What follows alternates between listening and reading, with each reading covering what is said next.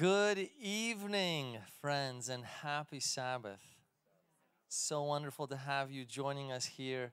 And those of you watching online, we just want to say welcome to the University Church and welcome to our camp meeting experience.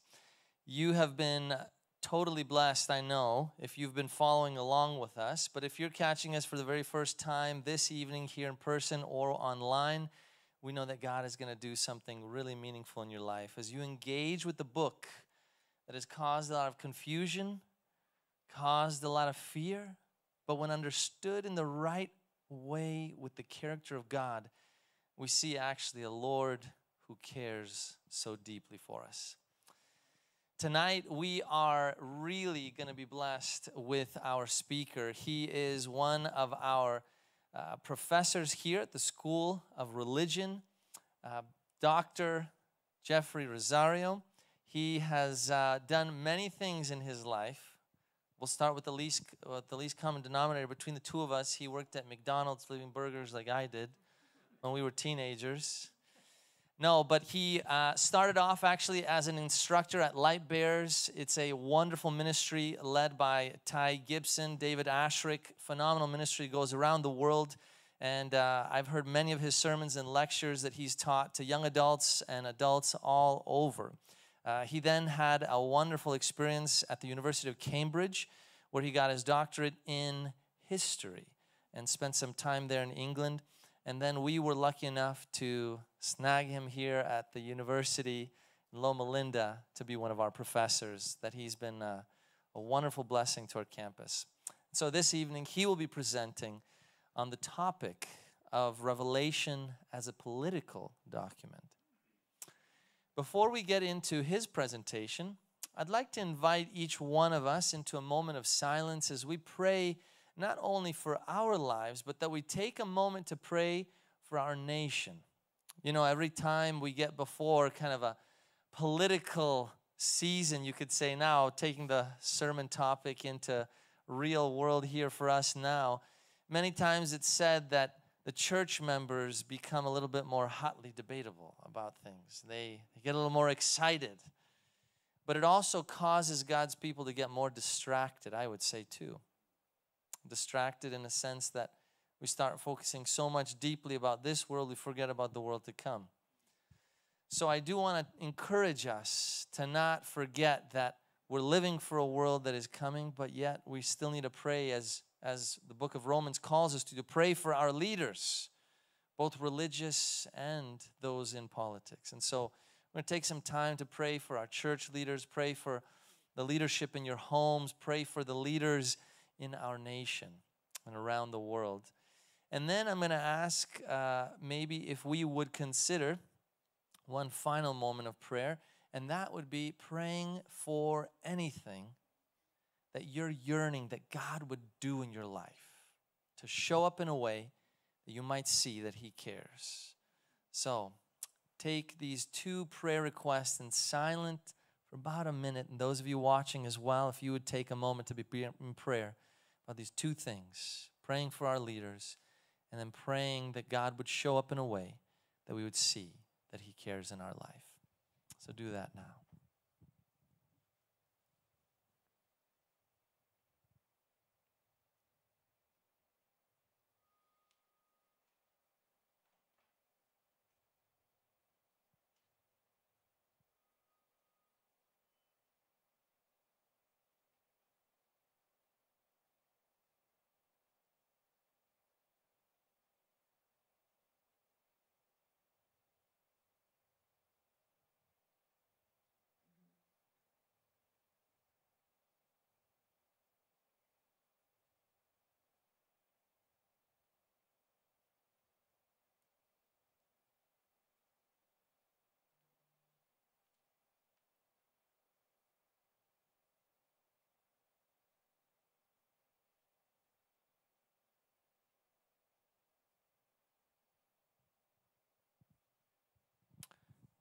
Incredible God.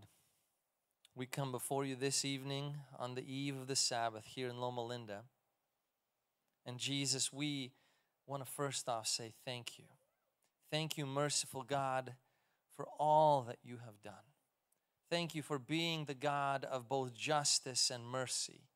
Thank you for being the God of love and judgment. Thank you for being the God who is both compassionate and at times can reveal a righteous anger. Lord, thank you for also being a God who is so deeply concerned for our personal lives.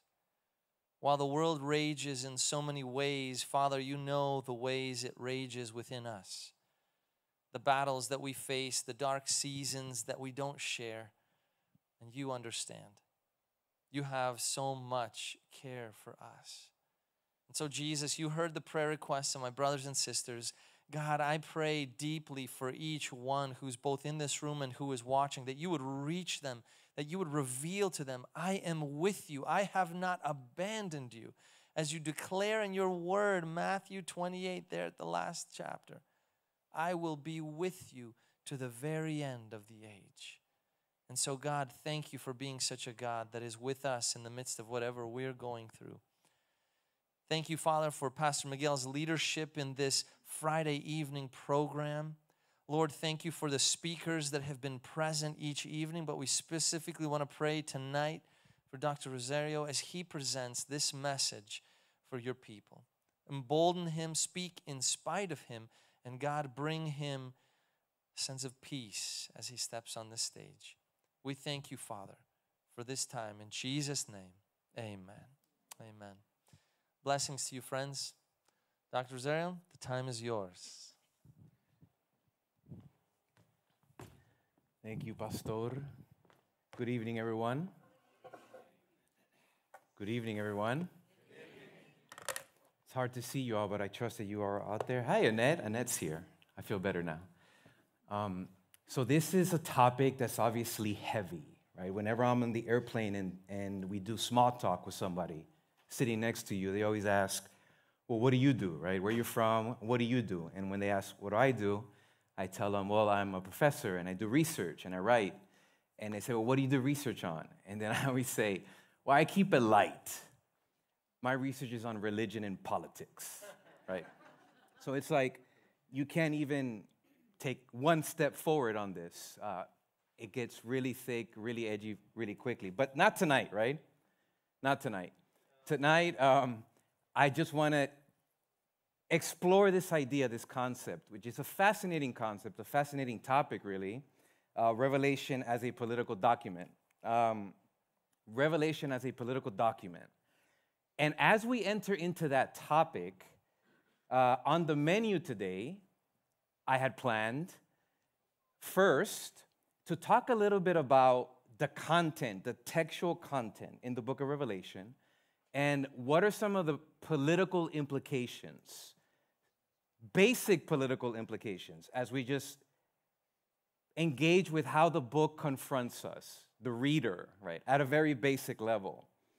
And then I wanted to move from there to talk about some historical examples of when a religious community or when a believer reads the book of Revelation and walks away with the political implications and then and then seeks to engage their world in their particular historical context with what they see in Revelation's political vision. So we'll see if we can even get there, right?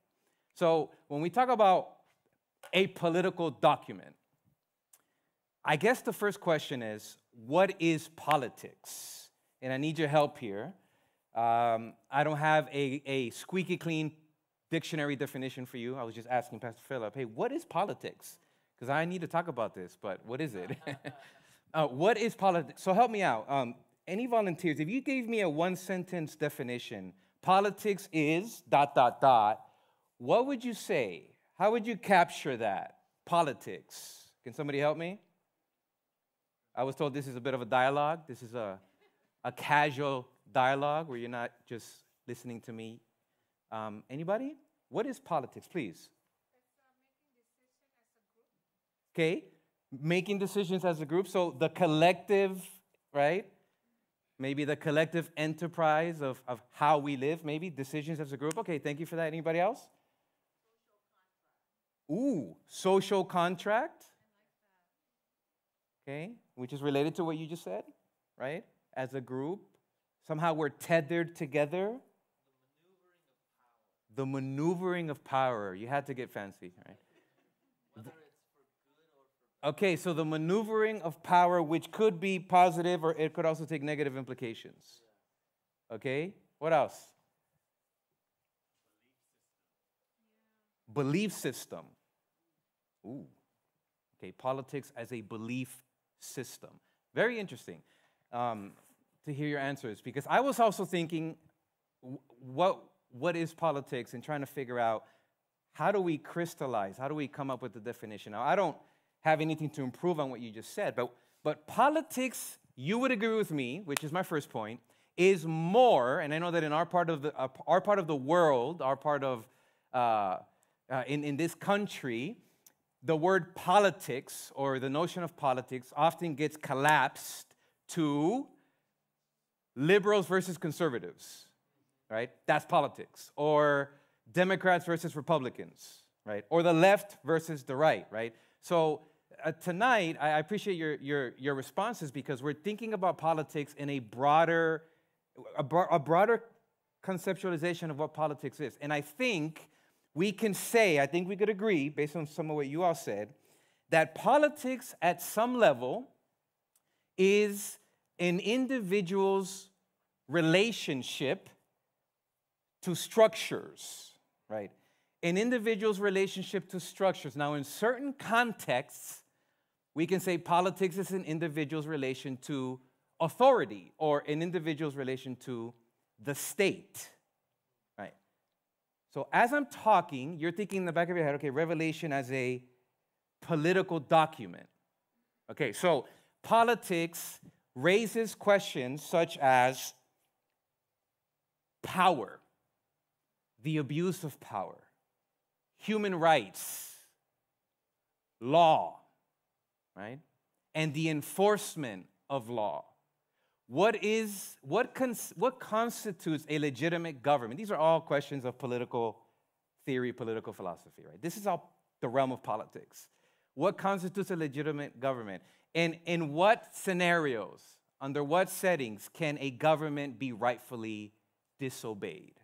Okay, this is all the realm of political theory, political philosophy. So, with all that stuff, all that junk on the table, right?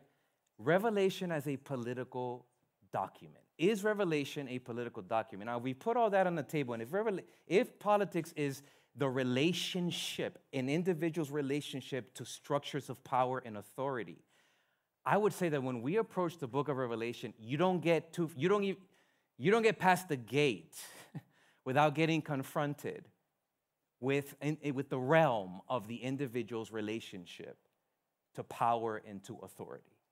So I think, I think emphatically we have to say that Revelation has massive political implications.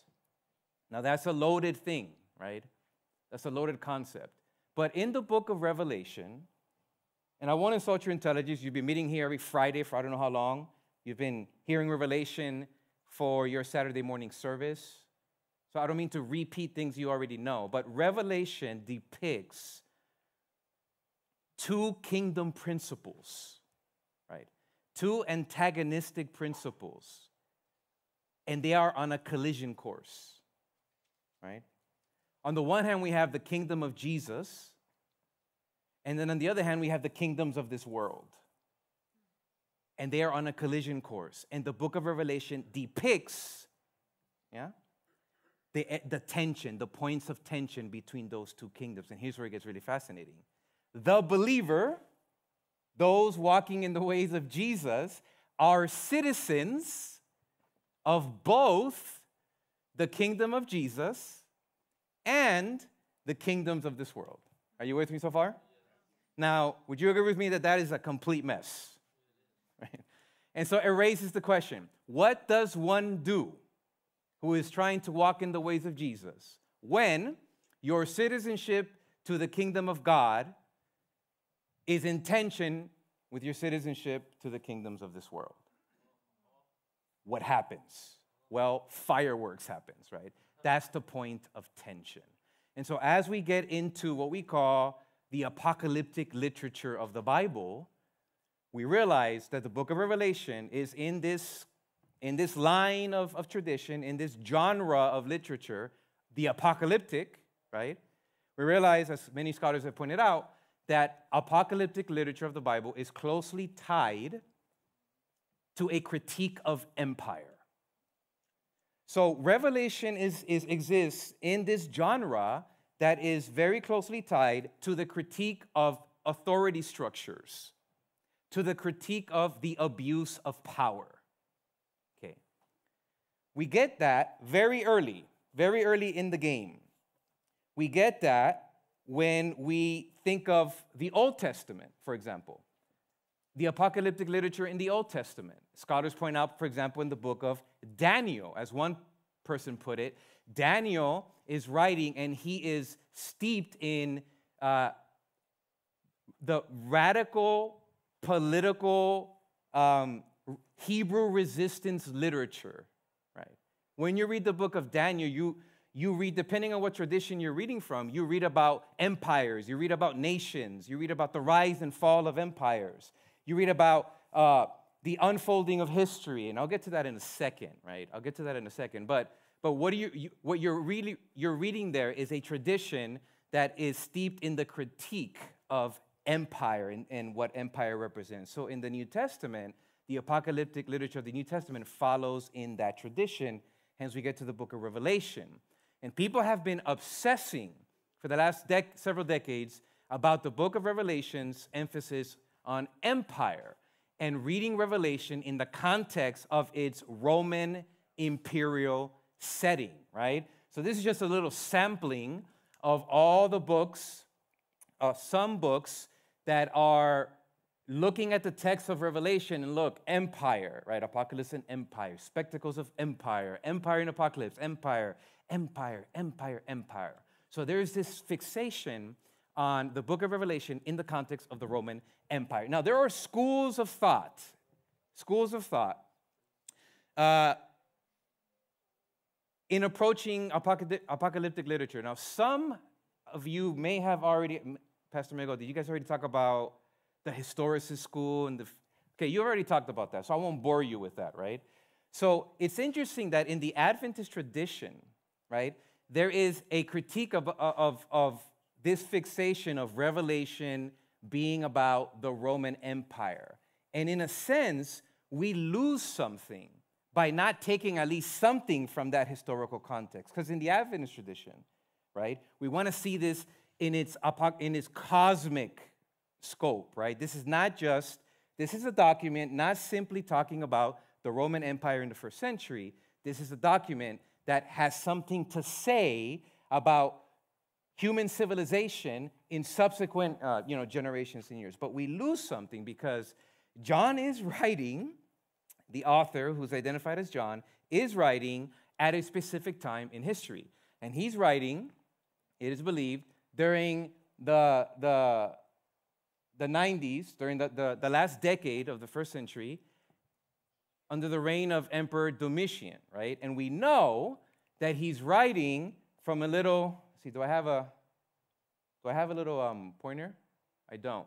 He's writing from a little island called Patmos, which you've heard, and he's writing to a series of Christian communities in what they called Asia Minor, which is modern day Turkey, right?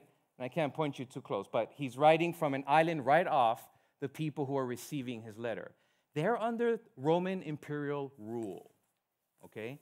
So, in the air, as John is writing, if you were to ask John, hey, John, is this document a political document?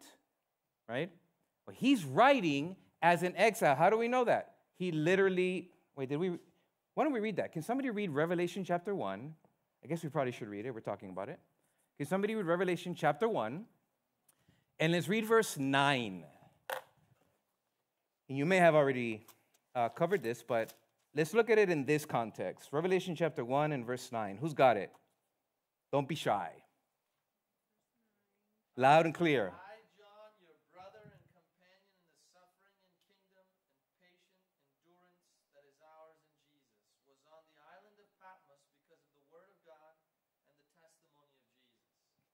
Okay, so we know he's exiled on an island, and he tells us that the reason, the occasion for his exile is he's under persecution. So already, the definitions we lined up for what is politics, John is already living in that realm. He's breathing that political air because he's a political exile, right? And he's writing because he's under persecution. So already we have the relationship with, between the individual and authority figures and structures of authority, structures of power, and the abuse of power.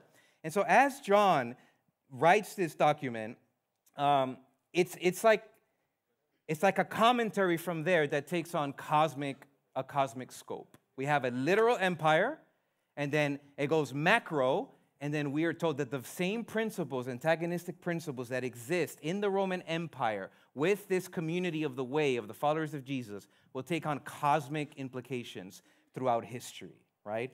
John suggests that the message of Jesus, hear me now, is a threat to Rome. Else, what is he doing on this island? You with me so far? In its original political and religious setting, Revelation will make satire of Roman versions of reality. John develops his work in an anti imperialist tone where he sharply criticizes Roman imperialism. Now, the people who are reading John, right here we are sitting in Southern California, so far removed, but the people who are reading John, it's quite fresh in their memory that the one whom they followed, the one whom they are named after, right, Christ Ians, Jesus himself was executed, was tried and executed as a or on the charge of sedition against the Roman Empire, right? Which tells us why, when John is writing, it is explicit that the message of Jesus is a threat to Rome. So, is the gospel, does the gospel have inherent political implications? Is there a, uh, the, the gospel's inherent political philosophy? Is there political philosophy that's inherent in just the gospel? What would what, what do you think? You're just staring at me funny.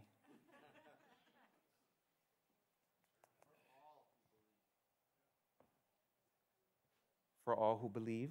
Let me put it to you this way. When John and his fellow believers are announcing that Jesus is king, and when they're announcing Jesus as the Christ, right?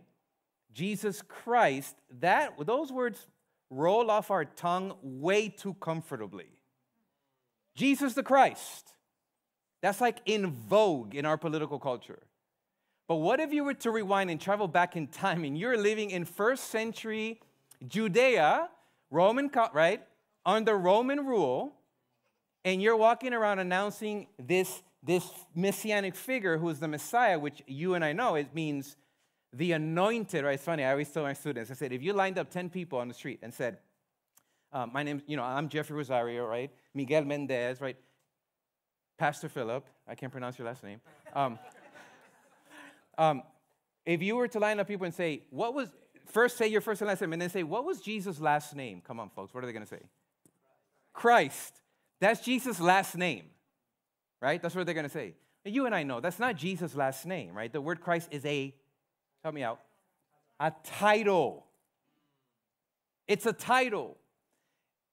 Furthermore, it is a politically, hear me now, charged title. Because Messiah, right? That notion of Messiah has a long history.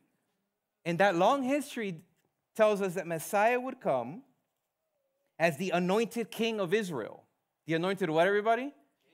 King. Now that's a problem because when Jesus was born and he said, I was king of the Jews, right? People start getting nervous. People start getting nervous. So, so the word Christ ha- is politically charged because in its original setting in the Roman Empire, it was you were making a political claim you're following the Christ, which is the rightful king. You see, if Jesus is the rightful king, then somebody isn't. Somebody else is not, right? if Jesus is the rightful king, then Caesar is not.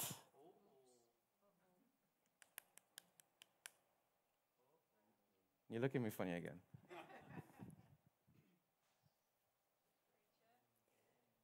And then not only are they announcing Jesus as Messiah, which is already a problem, then they're walking around saying, Messiah is, uh, we are bearing the gospel. Again, that stuff rolls off our tongue very easy. Now, N.T. Wright, which some of us love here, N.T. Wright has done deep study in this, pointing out that gospel, evangelion, right? Glad tidings, good news. We think that the Christian community invented that. Like that's Christian lingo in our modern context. Gospel, Christian lingo. Well, no, no, that that that was that already that concept already existed in the Roman setting before the Christians showed up. And the gospel, evangelion, was the good news, the glad tidings that was announcing the accession of a new Roman emperor, right? Or the birthday of the ruler. And now come these like ragtag, uneducated, right? People on the peripheral of Roman society, and they're announcing gospel this and gospel that. And here's John in Revelation 14, the final message for this world, the everlasting, right? Um, that carries deep political implications. You follow what I'm saying? Because they're saying we're not out here to announce or to celebrate the accession of a new uh, uh, Caesar, but our gospel is to proclaim a new, a different kind of king, and it is emphatically not Caesar, right? So, this idea of the everlasting gospel in the book of Revelation, we'll go figure the guy sitting on an island, exiled, right? He's the last one, right? He's the last man standing. He's the last of the Mohicans, right? He's in the late 90s and he's the last one standing. And he's tasting, he's getting a taste for how edgy, politically edgy it, it was to be those of the way. And then you get to one of the key concepts because this is apocalyptic literature. And there is, you know, collision course, there's, there's good, there's evil, and then this concept of war this concept of war in the book of Revelation. But one thing that is really interesting, again, we're just kind of sampling, right? Textually, uh, the political implications of Revelation, right? We're not, we're not going all the way in, we're just sampling. But when you go into the book of Revelation, you repeatedly find the concept of war, war. Now, I didn't put it up on the screen. I don't want to overwhelm with a bunch of words up there, but this uh, scholars have pointed out is one of the most important words in the book of Revelation. Now, the interesting thing about war is that it comes from the Greek word polemos, right? And polemos is where we get our English word polemics. Now, think about this for a second. When it says there was war in heaven between the Christ kingdom and the rebellion, what does that mean that there was war in heaven? Now, I'll tell you what I thought. I never read it until I was 17 years old. I never picked up the Bible until I was 17 years old. And when I got to that, I'll be honest with you, when I think of war, and when I read that in Revelation, I literally thought, you know, shing, like they're ching, ching.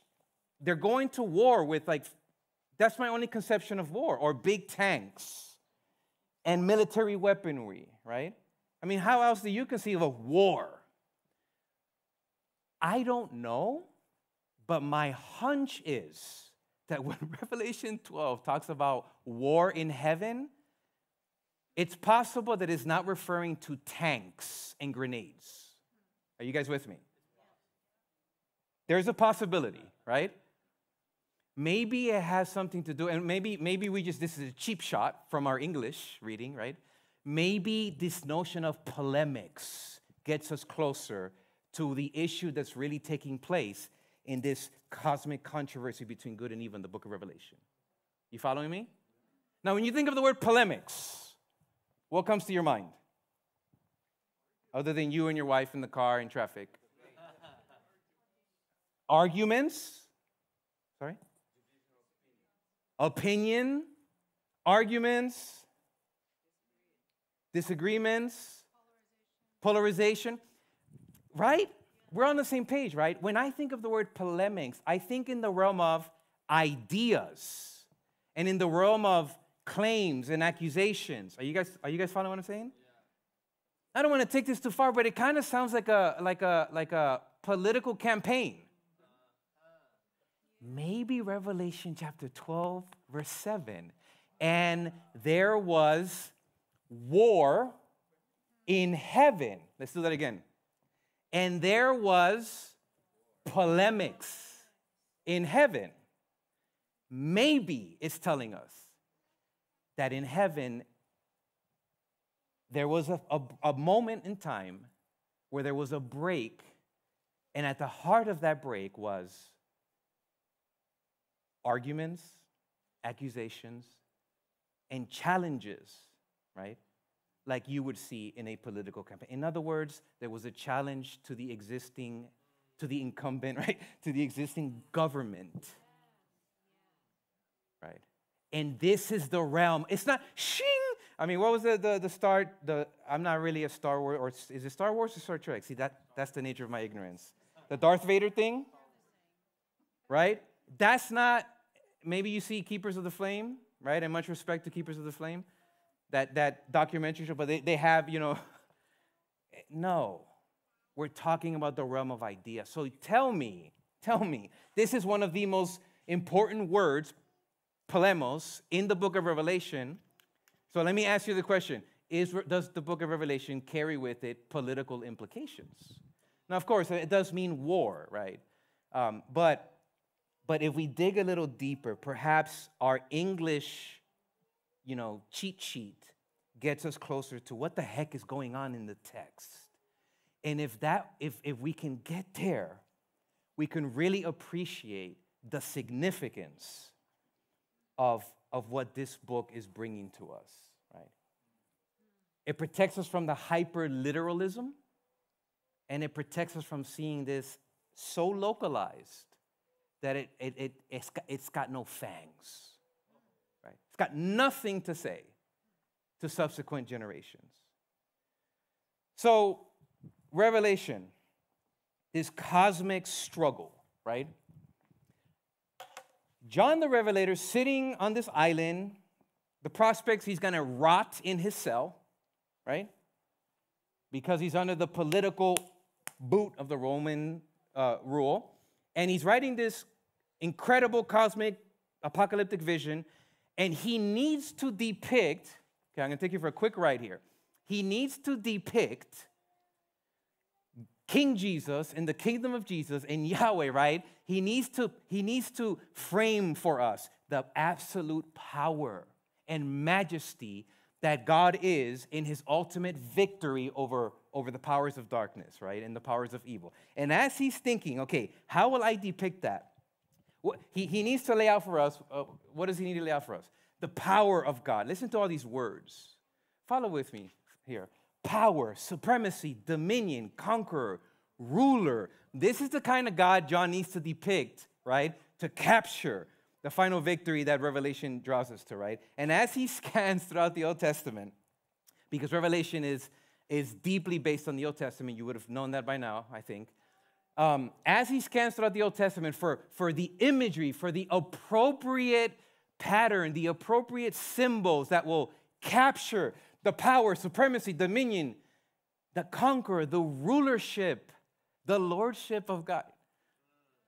I'm trying to build you up for like a, a moment. Can you work with me here? Can you be on the edge of your seat, right? Which image will he invoke to capture all that? And of course, this is the image, okay? This is the image that John the Revelator invokes as the most powerful depiction that can capture what are we trying to capture? I forgot already. The power, supremacy, dominion, the conqueror, the ruler. This is the image that John chooses to capture all of that for us. Okay, now, you tell me if this has political implication. Now you're saying, oh, right, I mean, this is, he just looked for the cutest picture of a little lamb. You know, that's not fair, right? It says lamb, right? No, no, no. In the Greek, it literally means little or small lamb. Now, notice, he doesn't say the lamb. The word he uses, and I'm not a Greek scholar, I went to the dictionary for this. The word that he uses is little or small lamb. Okay, on purpose. There's over, there's some 30 different titles that, that King Jesus is given in the book of Revelation. Out of mercy, I'm not going to take you through that, right? But there's many options that he could have chosen to really lean into. And yet, the word lamb as a designator for Jesus and King Jesus occurs 28 times. And if you want to do the math, if you're nerdy like that, see me afterwards. Can give you the, the deets on that. It every other title pales in comparison to this symbol of the lamb.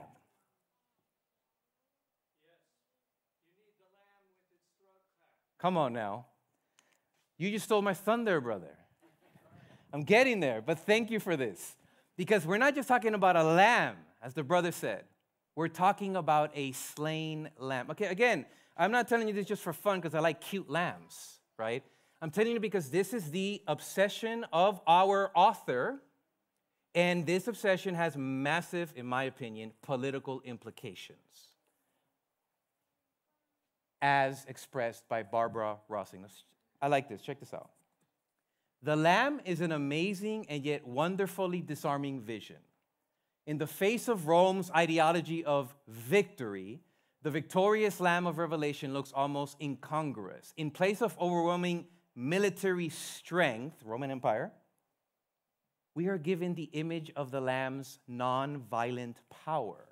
In place of Rome's image of inflicting slaughter on the world, Revelation tells the story of the Lamb who has been slaughtered and who still bears the scars, brother, of that slaughter. This reversal of images must have come as a big surprise to first century Christians, accustomed as they were to Rome's images of power and victory. Revelation undertakes to reveal what true power and true victory is. At the heart of the power of the universe stands Jesus, God's slain lamb. Think about the implications of that because what is happening here? That new ruler that has been announced, that Messiah, that rightful ruler that has displaced the Caesars in the minds of these followers, in the minds of our author, right? That ruler, um, is depicted with an image that completely turns upside down our notions of power. Because according to the book of Revelation, what you and I perceive as powerful and authority gets completely turned on its head. And, and it's, it's, it's beautifully intentional and it's brilliantly done. And I know, Miguel, you were talking about last week about the Greek is kind of sloppy. Um, and I get all that, but I, I just want to call this a masterpiece of apocalyptic literature uh, in the way that it is just crafted. It's just brilliantly done, despite uh, some of these textual things. Now, when it talks about the lamb, so, so there's political implications there. I'm not going to beat that dead horse. I'm going to assume you guys get what I'm going there, and it's huge. Um, in the context of Rome, it's charting out a radically different political uh, vision, right? for this community. So I, I, won't, I won't dive into application after application for that. I, I trust that you guys get where I'm going with this. But when we say that the central, that, that the most often used symbol for Jesus in the, this apocalyptic book is the lamb, we know this is borrowing from deeply from the Old Testament, right? And this leads me to another point. Not only is the lamb a central point, a political point here, but also under like the underpinnings of the book of revelation is this story from the old testament revelation if you map it out it's telling the story or should we say retelling the story of i'm going to call the most uh, what am i calling this the exodus from, Jesus, uh, from egypt is the most politically significant event in the old testament why am I here? We were just in lamb, lamb, lamb, lamb, lamb, lamb, lamb. Well, where did our author, John the Revelator, get this notion of the lamb? Right? We're going right back to where that tradition comes. He's dipping. He's dipping from sources, and the source he's dipping from is, is this rich tradition of Exodus, of the wilderness experience, and of the role that the Lamb does. Now, I'm going to say that the Exodus from Egypt is arguably the most politically charged event in the entire Old Testament. And then I'm going to say that the eschatological Exodus is the matrix through which John interprets God's vision of deliverance in a new kind of world. So you see mapped out through the book, it's a recapitulation of God's deliverance uh, of, from Egyptian bondage. And John, when John envisions God's political vision of God's kingdom, he sees that as playing out with this in the backdrop. Now, that's really significant. Why? Because I just suggested to you. Uh, John, our author, is drawing from the most politically charged tradition in the Old Testament as the backdrop for his work, which suggests let's, let's, let's pull that political implication from that source and, and, and fuse it right into this new work. I don't know if that's making any sense. Echoes of Exodus, we'll do this really quickly. Um, the plagues. This is just me trying to prove to you that what I'm saying is textual. The plagues. We have the plagues in, in the book of Exodus, and the plagues play a prominent role here in the apocalypse, right? In the, in the book of Revelation. That's not an accident, right? It's not an accident. We have false teachers. We have early on in the book of Revelation, uh, John attributes the work of deception to those, those of Balaam, the, the ways of Balaam. He's, he's, he's pointing us back to chapters in the story of Israelite deliverance from Egypt and through the wilderness and the false teachers that impeded Israel from entering into the promised land. He, he's drawing from the Exodus story. The dwelling with God, or God dwelling among them, I should have said. Um, in Exodus, the whole point of that whole journey in the wilderness of the sanctuary was what is it, Exodus 25, verse 8? That I may dwell among them. Well, you read Revelation chapter 7, and what's the project here? That there's the temple of God. Why? Because God is seeking to dwell among them. Same language, same phraseology, it's drawn from the same source. Eagle's wings. I'll take you to the text for this one. Exodus 19, you'll remember this. After the children of Israel had gone out of the land of Egypt, they came to the wilderness of Sinai. And the Lord called Moses from the mountain, saying, You have seen what I did to the Egyptians and how I bore you on eagle's wings and brought you to myself. That's a very Exodus poetic imagery. You get to Revelation and surprise, it shows up again. Then the moment the woman fled into another wilderness where she has a place prepared by God, the woman was given two wings of a great eagle. There we go again, that she might fly into the wilderness to her place where she is nourished for a time and a times and a half the time from the presence of the serpent.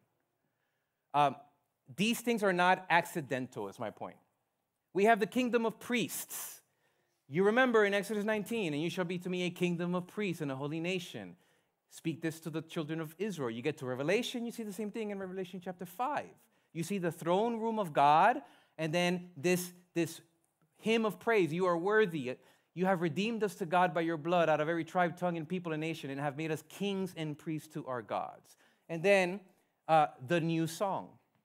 This is like explicit, right? You remember this Exodus 15, the story tells us that the Israelites make it across the Red Sea and they immediately enter into a triumphant song, and it is called the Song of Moses. That's Exodus 15. Then we get to Revelation 15, and we have the apocalyptic scene of the redeemed, and they're standing on another kind of sea, the sea of glass. Notice it doesn't need to be parted anymore.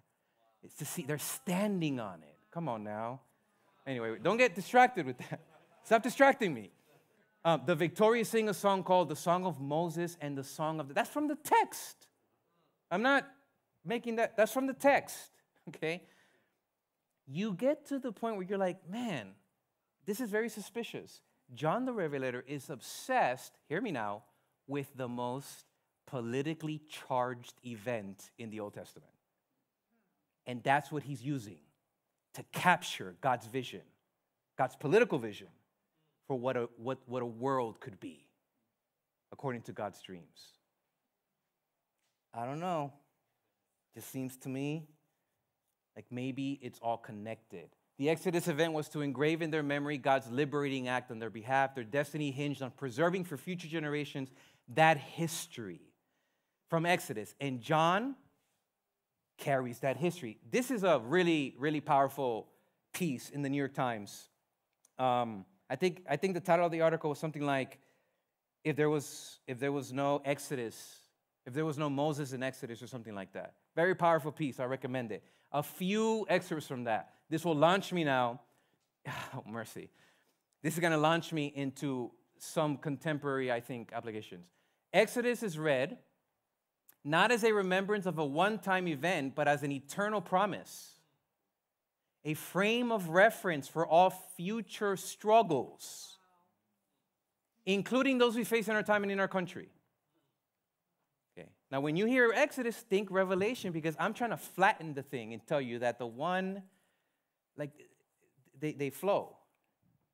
This is an archetypal redemption story, a reminder that as much as the world has changed since ancient times, oppression, degradation, exploitation remain part of the human condition. As long as there is power, there will be abuses of power. That is so revelation. By, but Exodus is also a reminder that any moment could be the inflection point between oppression and liberation. And so the telling and retelling of the story are the closest we come to the generational transmission of hope. And this is an act of spiritual resistance. The Exodus narrative demands of us full partnership in the grueling, unending work of building a just society, one that stands as counter testimony to the brutality the Israelites experienced in Egypt or read in Rome. What is she doing? She's late to the game because John already beat her to the punch. That's the whole point of Revelation. Everything you just read, I'm suggesting to you, is embedded in the vision of the book of Revelation. That's what it's saying. It's saying God has a vision for a different kind of world. And let me map that out to you in, in a cosmic sweep of this, these antagonistic principles between these two kingdoms that are in tension. And you, me, we're stuck in the middle of it all, trying to make sense of it. Why do we read the book of Revelation? To help us make sense of it.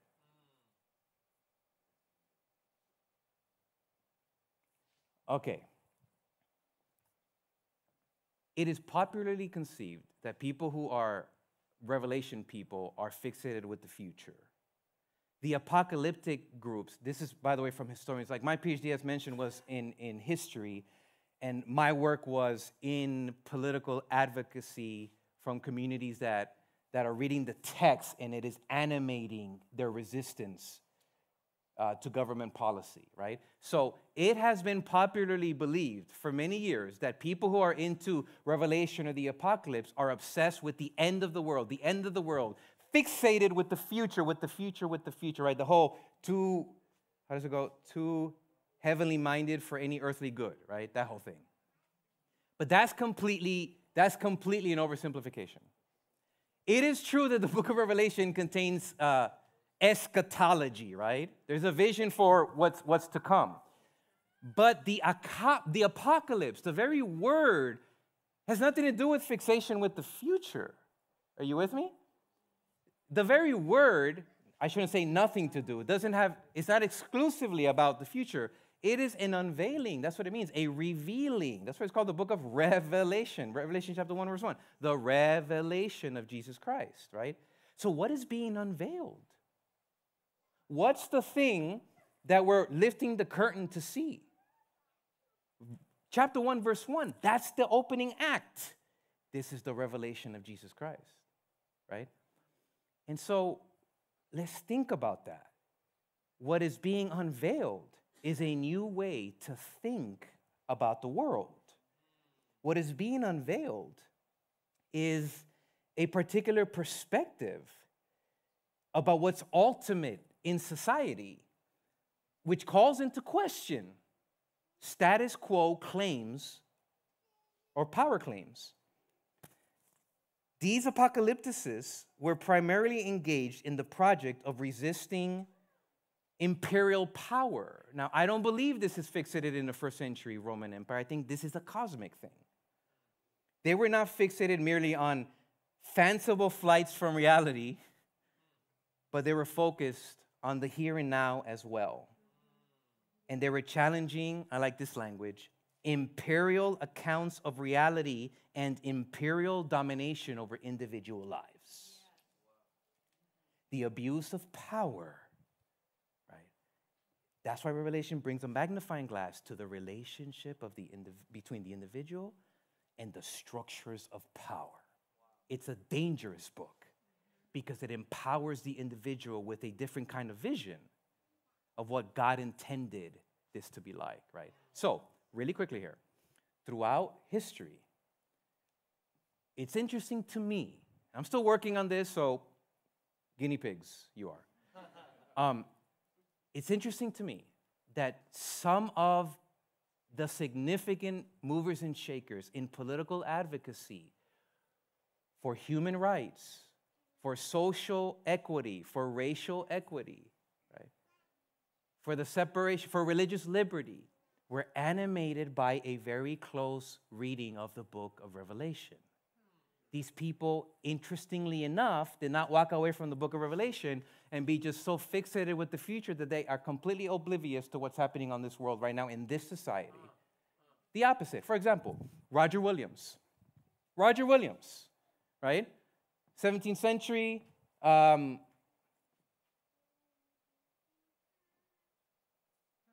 Rhode Island, Puritan, comes over from England, ends up in Massachusetts Bay, and he runs into the Puritan community in New England, and they're really gung ho, right? And he is reading the book of Revelation, and I will not, I'm gonna try to discipline myself not to go deep into this, but here, this picture, he is in the wilderness alone, and he's fleeing. Why is he fleeing? he's fleeing because the Puritans, right, the religious folk are on his, on his back. They're, they're, they're chasing him, right? Why? Because he blew the trumpet in, in, in New England, in Massachusetts Bay Colony. Why? Because he saw there the abuse of power, the mingling between religious and civil uh, abuses, right? And the blurring of religious liberty, et cetera, et cetera. And so he blew the trumpet and he um, dissented from it and he broke from Massachusetts. And that's why eventually he made it to, and became the founder of the Rhode Island colony. Now, why do I bring this up to you? Because if you read James Byrd's uh, scholarly work, he has, and he didn't even try to do this. It's like he does this in passing.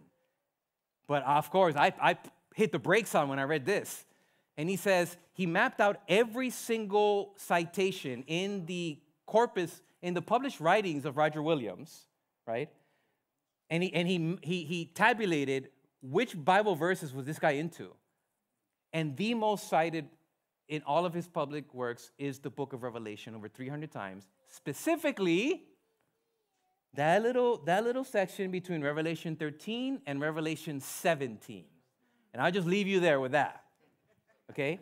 Though the, that's the stuff he was on, right? So check this out. He read that and he was like, wait, what's happening here? And he became a political dissenter. He began to criticize the government policies of of, of, of Massachusetts Bay, because of his reading of Revelation, uh, fired him up to a, a particular vision. Very interesting, I think. What about Frederick Douglass? Frederick Douglass, the great advocate for the marginalized, the great political advocate, he was animated by apocalypticism in his efforts on behalf of the oppressed. He was reading the book of Revelation, and it painted a picture to him that really helped. Now, I'm not suggesting this is his sole only source for, for what he did, but he was steeped in the book of Revelation, and it actually animated him. So did other uh, reformers for racial equity like Nat Turner. Some of the slave revolts took place because the, the, the slave community, the enslaved community was reading the book of Exodus and was reading the book of Revelation. You go figure. Why is that dangerous? If you're one that has people under oppression, You want to keep the peace? Do not give them access to Exodus or Revelation. Because if you give them access to that, they're going to catch a vision of what this thing is supposed to be about. and it's going to inspire resistance. Is the book of Revelation political? Um, and to land the plane here, we get, because we're already in the 19th century with Frederick, right? We get to this early generation, early community of Seventh day Adventists. Now, the interesting thing about this particular case study is here we have an American born apocalyptic movement, right? It takes very seriously readings of the book of Revelation. We have here uh, A.T. Jones, who I really, really like. We have Ellen White and we have Lewis Sheafe, who's one of the prominent African American uh, Adventist preachers at the time. And what you find is you find very dangerous, I'm using the word dangerous loosely here, very dangerous theology in each of these works. Why, this, why is this dangerous theology? Because this theology draws attention to these texts that paint this picture, um, that put a magnifying glass to the issue of human rights, to the issue of the individual's relationship to authority powers, to the rise and fall of empires, to legitimate government, to when is it just to disobey the government? And that stuff is dangerous. So um, maybe to jump here, I'll put it this way. While John the Revelator wrote in the first century in the shadow of the Roman Empire, early Adventists invoked this ancient text to level a political critique against Rome 2.0, the United States of America. Now we're in trouble. Now we are in trouble.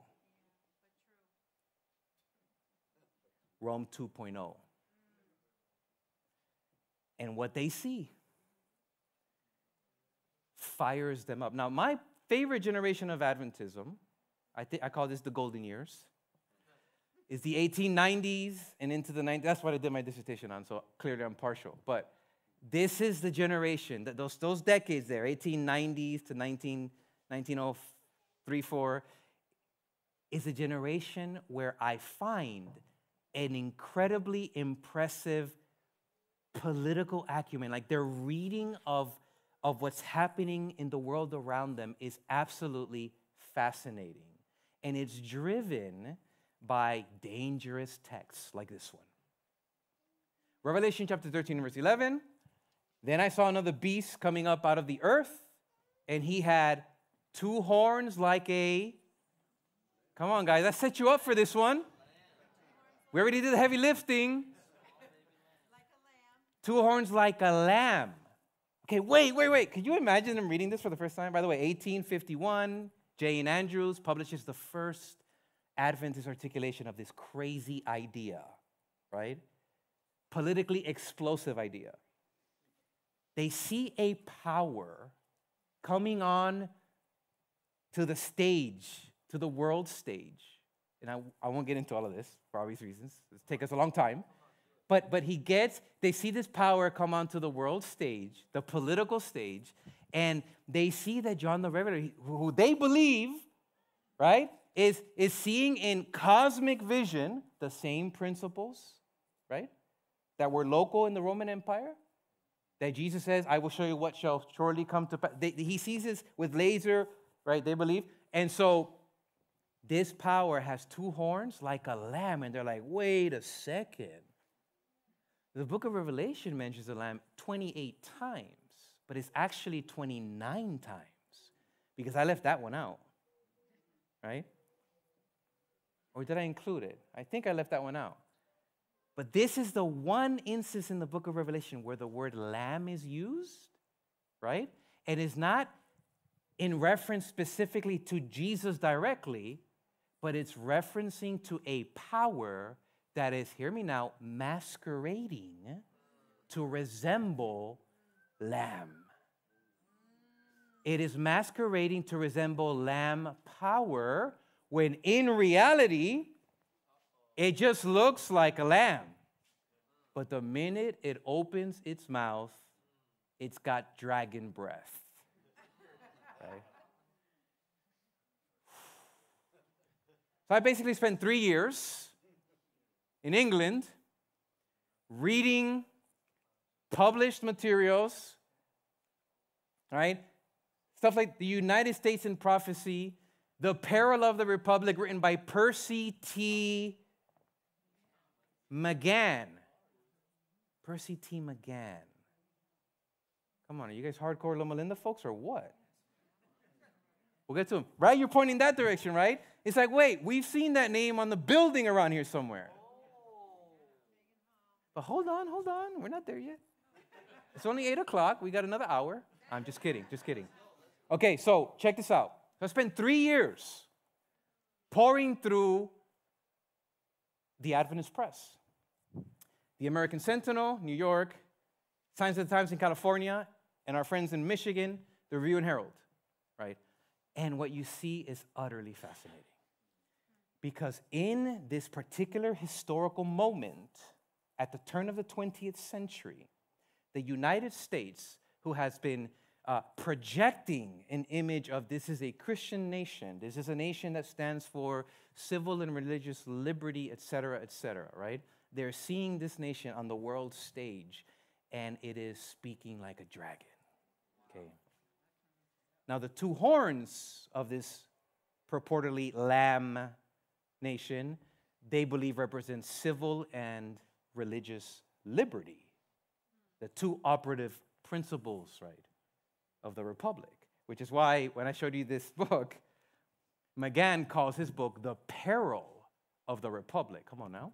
Okay, so so so this literature, they're they're they're critiquing uh, particular events that are taking place in their day. And my work was specifically in American foreign policy, but I looked at how Adventists saw United States domestic policy. They looked at the history of slavery, they looked at the history of religious persecution and intolerance in the country. They looked at all of that domestically, and then they mapped that out to show this was a precursor for what this empire we call the United States is now doing, flexing its power around the world, right? Which is heavy. So check this out.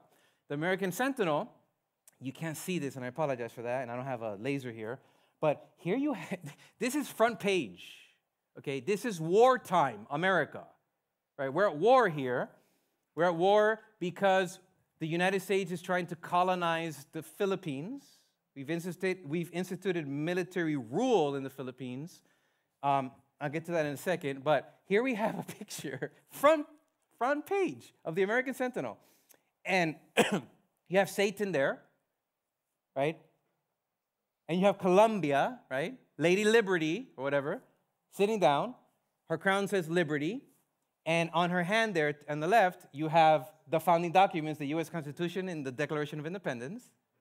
And Satan, he has on his chest here, it says despotism, and he has this, whatever you call that,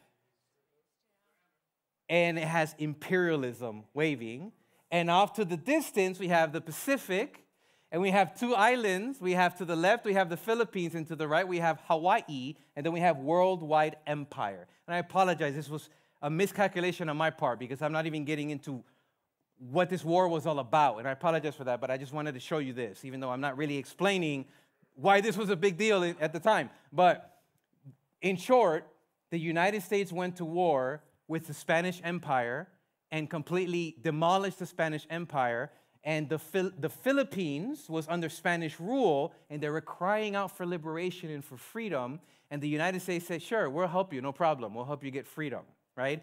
After the United States crushed the Spanish, the United States government then entered into a room of negotiation with the Spanish, and take a wild guess who was not at the table?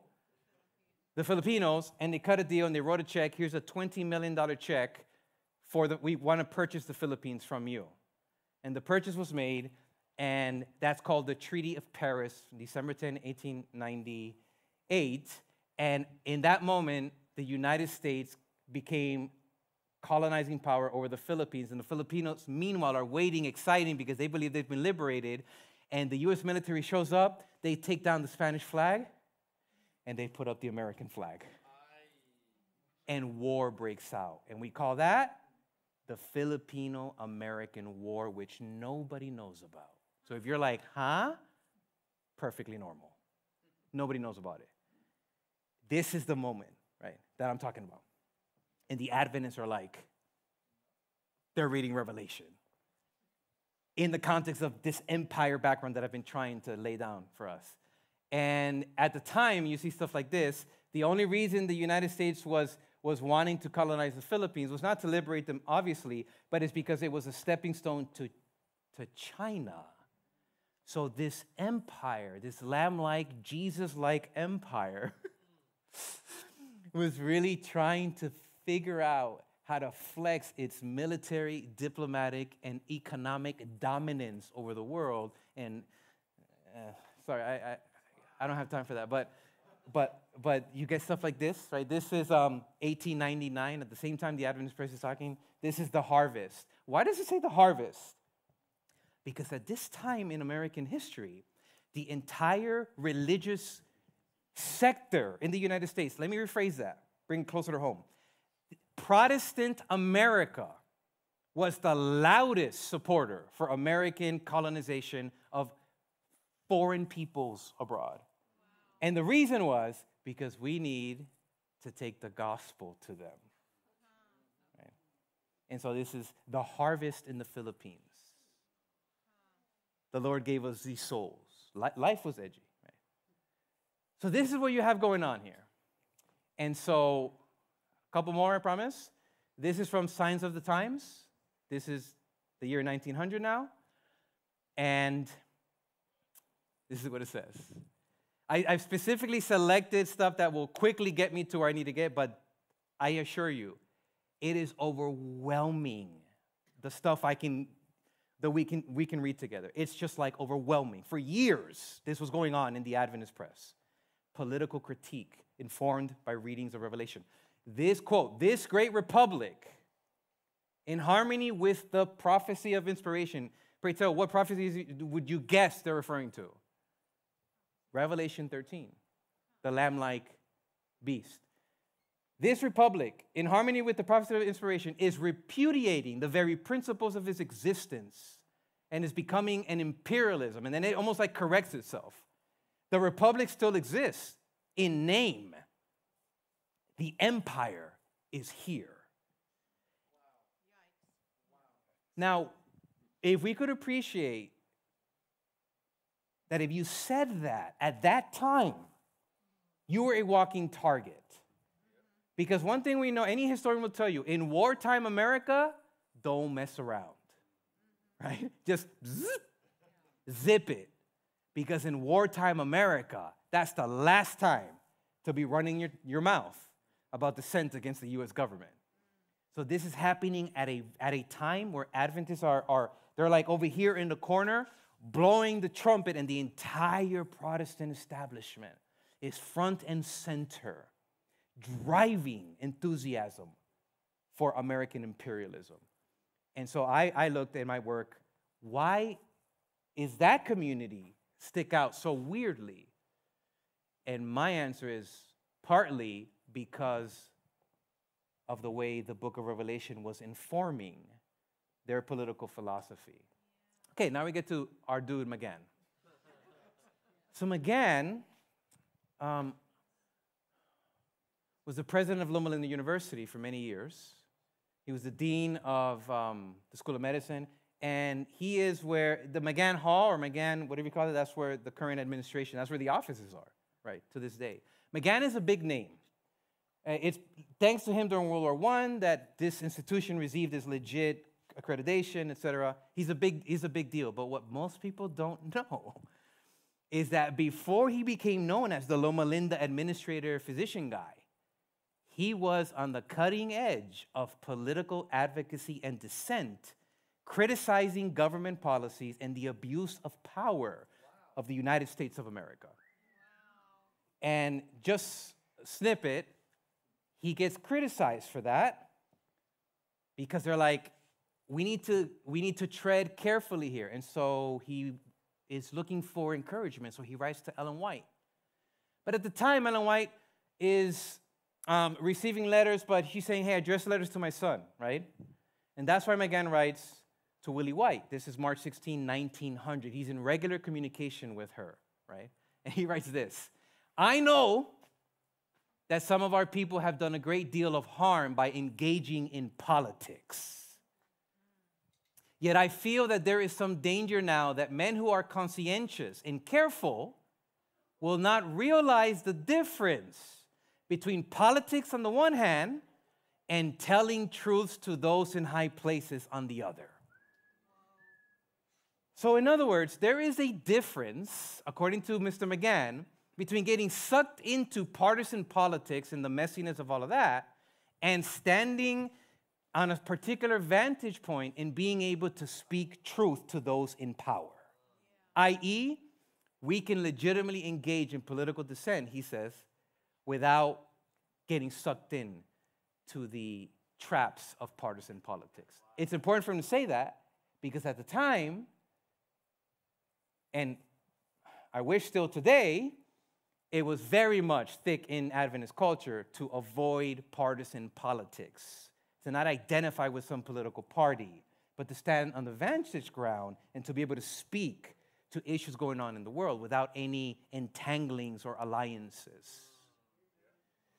Um, and we'll close with this C.P. Bollman. Why am I closing with him? Because he doesn't get any light of day. In fact, be honest, you don't have a clue who this guy is. right?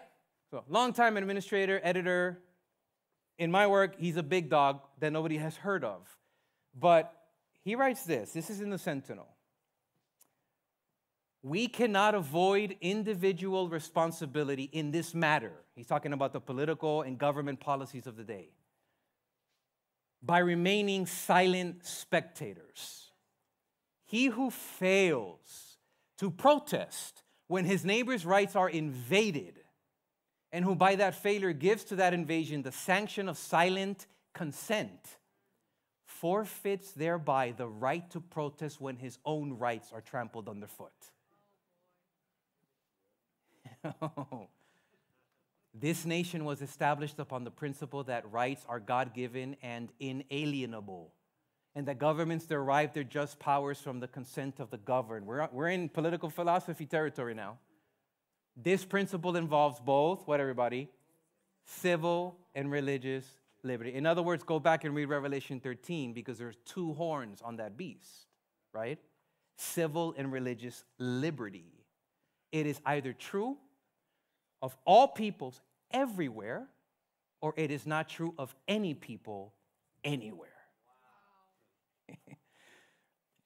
all right, we need to be merciful here. We need to bring this to a close. But I'm suggesting to you that these tropes in popular culture, that apocalyptic communities, present company included, uh, people who take revelation seriously are siloed. Yeah? They're just obsessed with, with this imaginary, you know, future world that they are no good to the current society that in fact that is a gross aberration from both John's text and the way subsequent generations have read John the Revelator. Revelation is a political document. It is a powerful vision for a new kind of world, one that envisions King Jesus and everything that that, that, that implies for followers on here. So sorry for being long, but thank you. Are we staying up here? You think they're going to stay after that? Um, that was that was invigorating, exciting, challenging. I know that you all have some questions, maybe some comments. We want to hear those. As always, my job up here is simply to repeat that for our audience online. And so we'll start with Marilyn back there.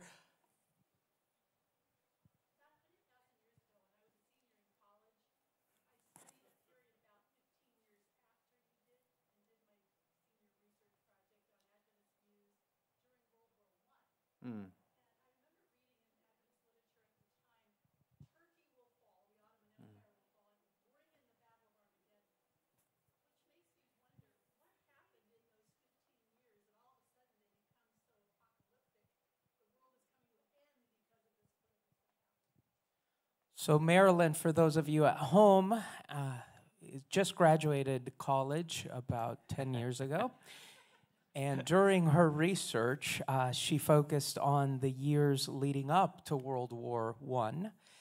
Uh, and uh, we've, we've all read about Adventist positions on uh, Turkey and the Ottomans. So something shifted, I think, is what, what she's asking. Jeff, could you comment on that? Well, I don't even know if we would say something shifted. What I don't want to leave the impression is that this particular generation was not apocalyptic in future. They certainly were, right? You don't ever get five minutes in Adventist history where the church is not deeply steeped in the second coming of Jesus, the second coming of Jesus, the second coming of Jesus. So I, I, I don't mean to give that impression. It's just for the sake of time. I'm just, I'm just trying to highlight the particular point. That's always been there. But the case you're bringing up about Turkey, it's, in my opinion, hugely embarrassing because our, you know, our GC president, A.G. Daniells, is going around the country telling Turkey, Turkey, and he's drawing. So you highlight a very important point there that with being an apocalyptic community, we are very vulnerable to weird stuff, to weird interpretations. It's just the fact of the matter. There's, I don't think there's any way to dance around that. They were so sure, right, that the fall of the Ottoman Empire, and the taking of Jerusalem and all that would be significant anyway, and it, and it, it just seems like it was nothing.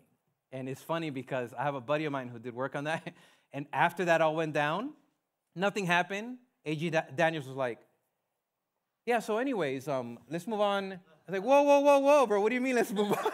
you literally went on a world tour, and he was just like, whoop, let's move on, right? It's embarrassing. So I would just say, um, what changed? I don't know if anything changed. I think we've always been susceptible and vulnerable to weird interpretations, to, to, to getting the text to answer questions that John wasn't asking, right?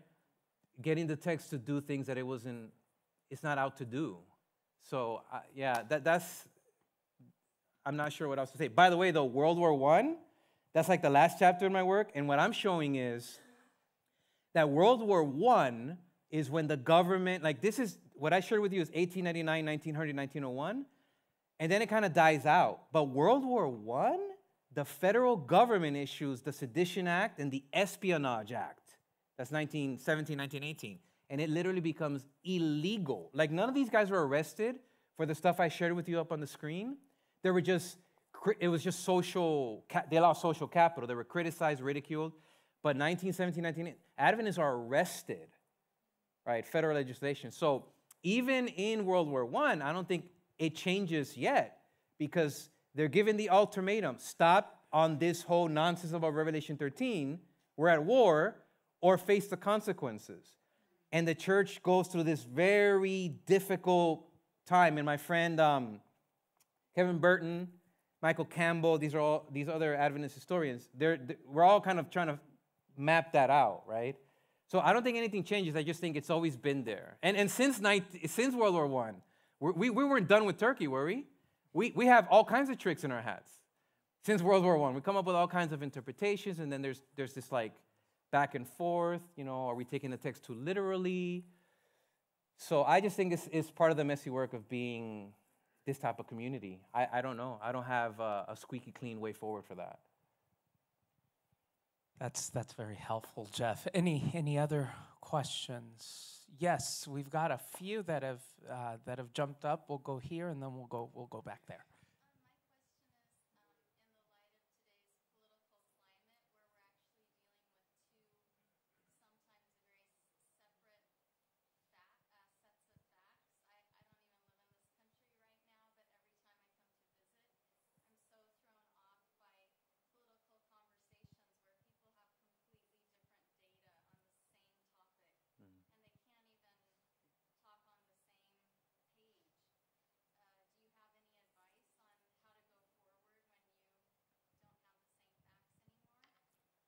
So the question, by the way, take us with you.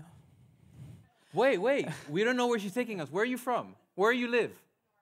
Norway. Take, take me with you.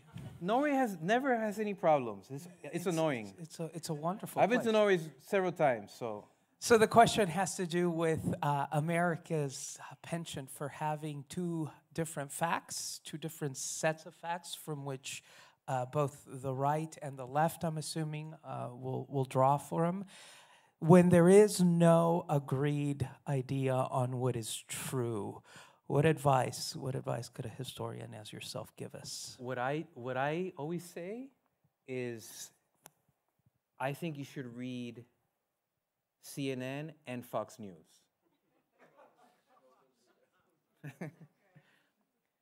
you know, because we have to be on, we, what is it?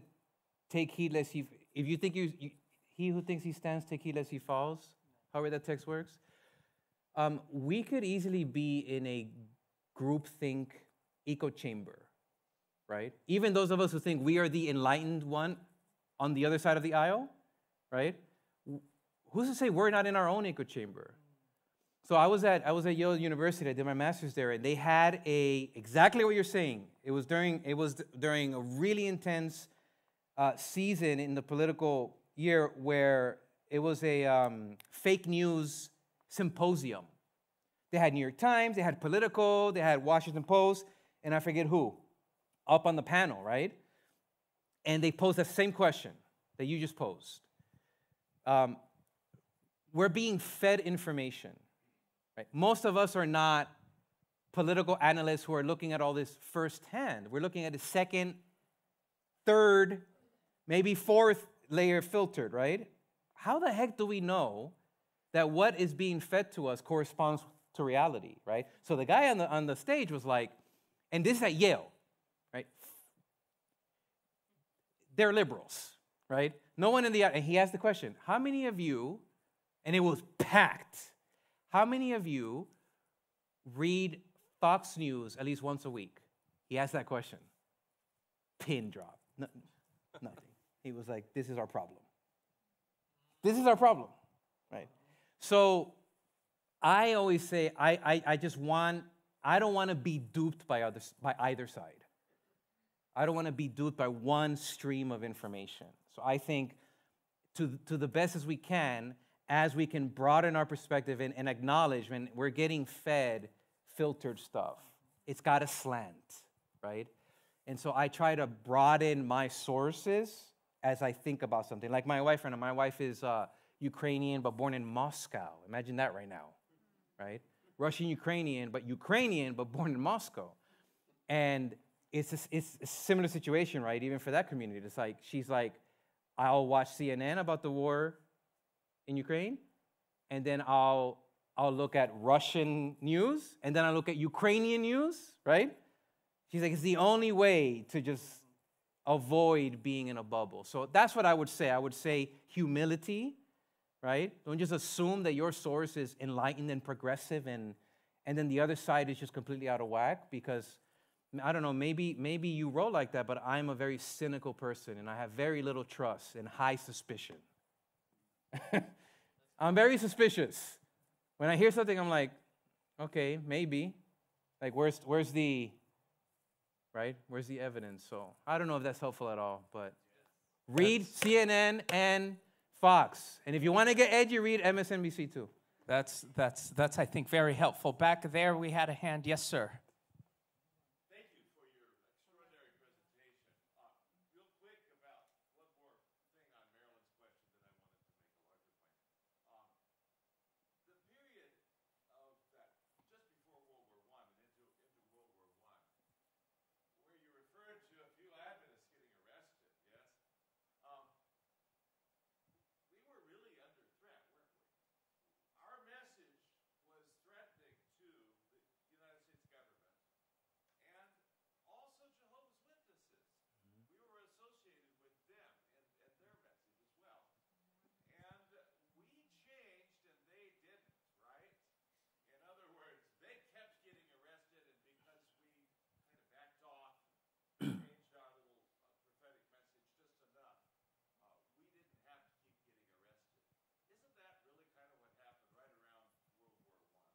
Yeah, so uh, Ke- um, Michael Campbell was another Irish historian. So he looks at the period right after my period, like he starts in World War One and he goes into, and he he, he maps that out, that there is a transition that takes place.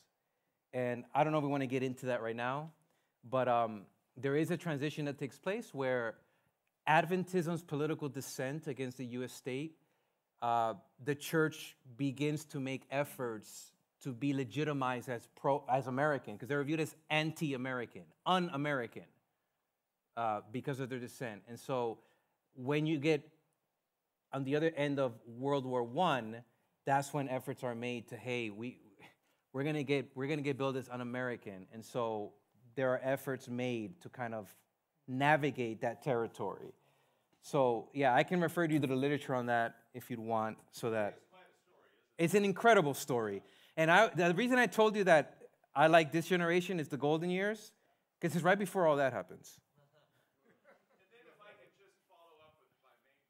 Mm.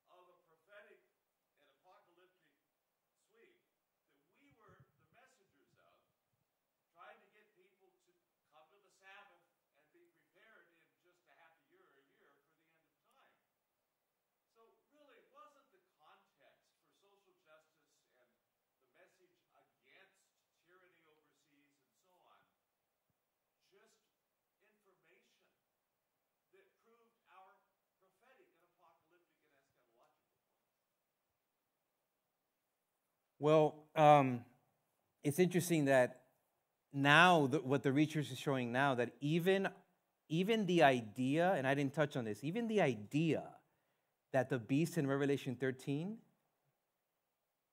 that looks like a lamb and speaks like a dragon is the United States of America, that one of the main reasons why J.N. Andrews and those early thinkers arrived at that is because of the existence of slave. Remember, 1851, this is pre Civil War right? This is antebellum America. And one of the reasons that they landed on that interpretation was look, look at this nation and look at the presence of people who are oppressed.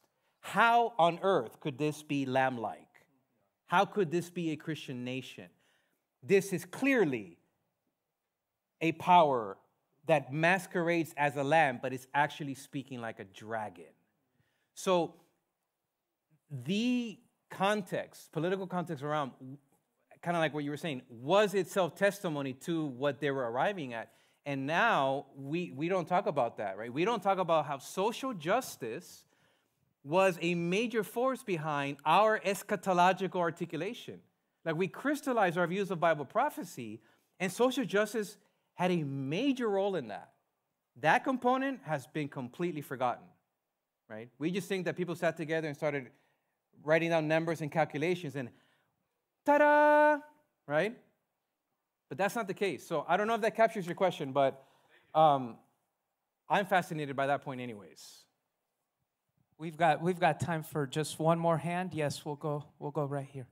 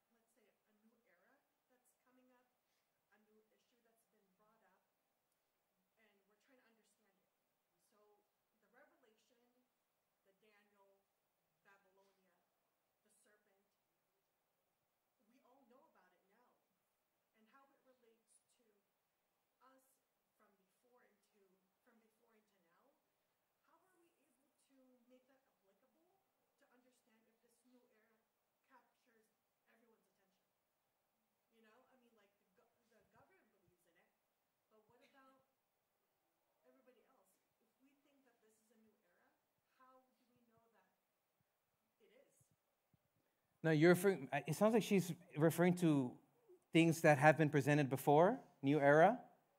I'm not familiar with. I think you mentioned something about like not new government, but you were saying something about cosmic, cosmic stuff, um, like how heaven cares and so forth. Something's being interpreted. We are aware of Revelation and um, something about like the gospel and all that stuff laid out for us to understand. How do we know that our era, this era, is to live the way it's supposed to live in order where the government still lets us understand that in God we trust, in God in our trust. Help me yeah out with that. so I, I think if i if i can if i can kind of and it i, I think i'm going to try to to capture uh, because i think it's it's a it's a very very important point.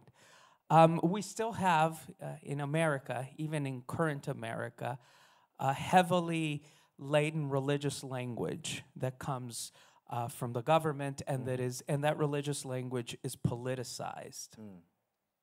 We're talking here about a different role uh, for churches and communities of faith, where we don't politicize religious language. We try to grapple with, with prophetic language and with religious with the religious lingo. How do we ensure that in this new in this new vision of looking at at religious language as apolit as, without politicizing it or without leveraging how do we establish some guardrails i don't know if that if that kind of captures what uh, Yeah, so the belief in it and how that's structured carries over with what we've learned about Revelation. It's interesting because I'm going to shoot this, and it may or may not hit, but we can chat afterwards further. But the early Adventists were called political atheists. And the reason they were called political atheists is because in that generation, as you're alluding to here, politics was, there was a religio political culture, right? There were uh, laws for, um, there was uh, advocacy for the Bible in public schools, right? There was advocacy to put Jesus in the Constitution. They wanted to rewrite the founding documents and insert God back in the Constitution. So the early Adventists were, were perceived to be political atheists because they, they envisioned political society without imposing Christianity, right? So we walk, we, we walk kind of a line with this because in, in, in our day and age, um, politics is very much religiously infused, right?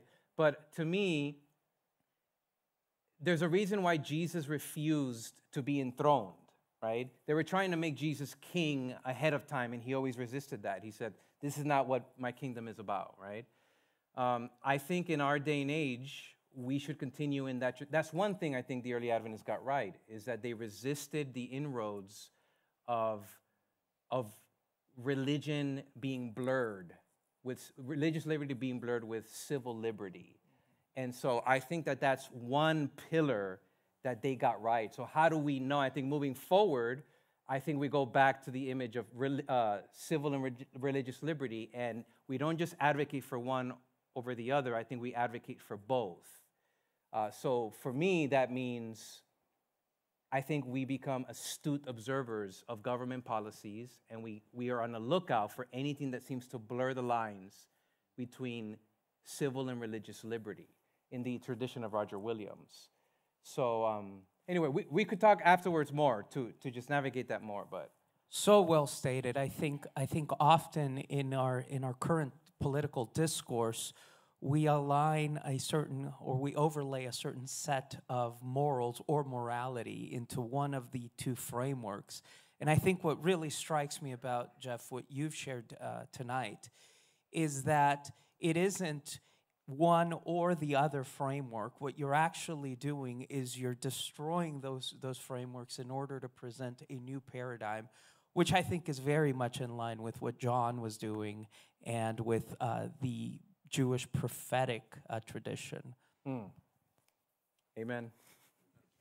Well, uh, we will We'll do one more, um, and then we'll we'll close. So this really is the I last can, I can also just talk afterwards. We don't Yeah, have to keep yeah. everybody here. We Yeah. can just talk afterwards. I'll be here. He'll be here. So do you? Is it is it short, Danilo, or you wanna? Okay.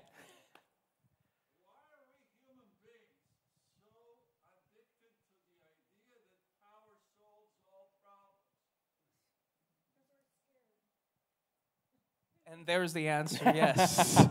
yes.